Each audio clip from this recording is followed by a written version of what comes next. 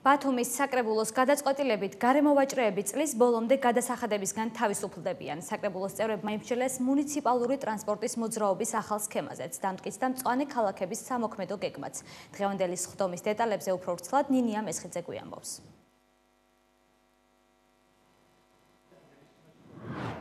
პანდემიისა შექმნილი მდგომარეობის გამო ბათუმის საკრებულომ გარემოვაჭრეების სასარგებლო გადაწყვეტილება მიიღო. თვითდასაქმებულები გადასახადებისგან წლის ბოლომდე თავისუფლდებიან. გათვალისწინებული იქნა პანდემიის პერიოდი, მცირე ტურისტული სეზონი, მცირე ვაჭრობა, ამიტომ შეღავათი გაეწია მერიის მხრიდან გათავისუფლებული იქნა ყველა ის გარემოვაჭრე, ვინც კანონის ფარგლებში ახდენენ საქმიანობას.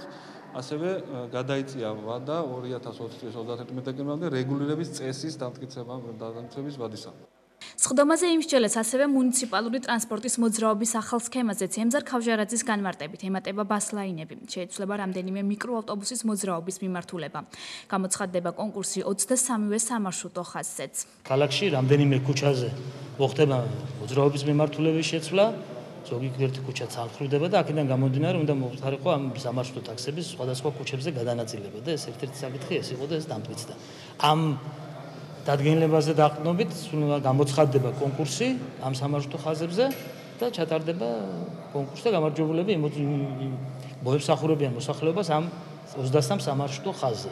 ცხოლები თავისუფლდებიან ნებართვის საფასურის გადახდისაგან, რომელიც ოქტომბრის თვეში უნდა დაეფარათ. ამისთვის სამარშრუტო ტაქსის მცხოლებმა მერიას წერილობით უნდა მიმართონ. როგორც იცით, 25 სექტემბრიდან შეჩერებულია საზოგადოებრივი ტრანსპორტით გზავრთა მომსახურება. 19 ოქტომბრიდან მოხდება აღდგენა საზოგადოებრივი ტრანსპორტის და ამ ხნის განმავლობაში ის გადამზიდავი კომპანიები ძოლები გათავისუფლდებიან იმ ნებართვის ფასის გადასახადიდან, რაც უნდა გადაიხადათ ოქტომბრის თვეში. მხოლოდ იმ შემთხვევაში, თუ ისინი მოგმართავენ განცხადებით და მოითხოვენ ამ გადასახადისგან გათავისუფლებას. წინააღმდეგ შემთხვევაში ჩაოლე რეჟიმში გაგრძელდება მათთან ხელშეკრულება და ურთიერთობა.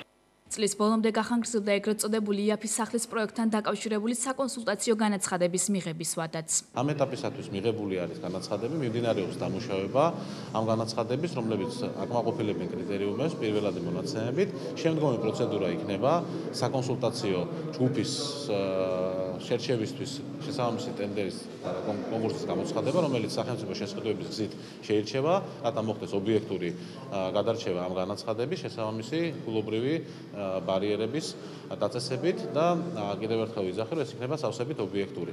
საკონსულტაციო ტენდერი გამოცხადება და დასრულდება წლის ბოლომდე, რის შემდგომაც პრაქტიკულად ჩვენ გვეყოლება ახალი გამოვლენილი ბენეფიციარები, რომლებიც მიიღებენ იაფ სახლში შესაბამის ბილებს.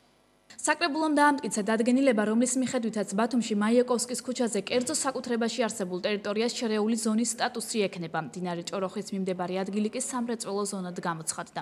დაამტკიცდა მწვანე ქალაქების სამოქმედო გეგმაც.